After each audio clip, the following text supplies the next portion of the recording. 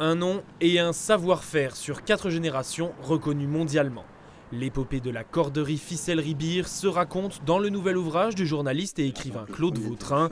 Une fresque historique souhaitée par le dernier membre de la famille à diriger l'entreprise avant sa vente au début des années 2000, Jacques Beer, qui il y a un an décidait de coucher sur le papier un siècle d'une saga familiale débutée en 1898 à Uriménil. Ça n'en raconte qu'une partie parce qu'il aurait fallu trois, volumes pour tout raconter. Je souhaitais pérenniser le, souvenir de, de, mes prédécesseurs.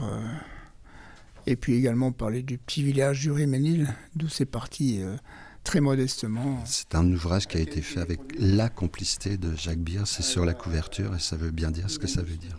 Il y a à la fois le côté vivant, familial, humain, et en même temps la, capacité d'une entreprise à s'adapter au monde euh, sur un siècle. Durant près d'une année, les deux hommes se retrouvent pour retracer cette aventure industrielle. Du départ d'Alsace de l'arrière-grand-père de Jacques Beer, Morand, qui achète une ancienne distillerie de pommes de terre, jusqu'à l'âge d'or de l'entreprise qui comptera près de 650 salariés. Du champagne, des petits fours, des clients ou des fournisseurs venus du monde entier, et un homme pressé, Jacques Beer, depuis 36 ans à la tête des établissements du même nom, la société Beer qui fête en ce week-end son centième anniversaire. Qu'est-ce que ça vous évoque ces images-là? Un peu de nostalgie. Enfin, il est normal que le temps passe.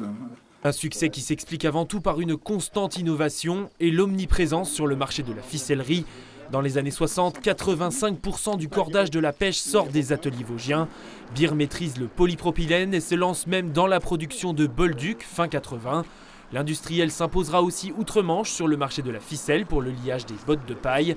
Jacques Beer se souvient avec nostalgie des 1000 mètres carrés d'atelier aujourd'hui en friche. Au premier étage, euh, la filature de, chanvre, de cisaille. Alors très rapidement a été construit un chantier pour fabriquer les cordes à longueur. Le chantier de 130 mètres. La fermeture de l'usine laissera un grand vide chez les clients, comme le raconte avec nostalgie Nicole, ancienne salariée. Quand Bir a fermé, on avait des agriculteurs qui nous téléphonaient à la mairie, mais pourquoi Bir ne répond pas? On veut leur ficelle, même des clients étrangers, on veut leur cordage, on veut. Et c'est difficile ça aussi d'accepter, d'avoir vécu tout ça et de ne plus rien avoir. L'entrepreneur aura aussi contribué à moderniser la commune avec l'arrivée du téléphone puis du courant électrique. Le livre de Claude Vautrin se referme à la vente de l'entreprise, mais le village compte bien écrire un nouveau chapitre et reconvertir les bâtiments en espaces dédiés à la santé.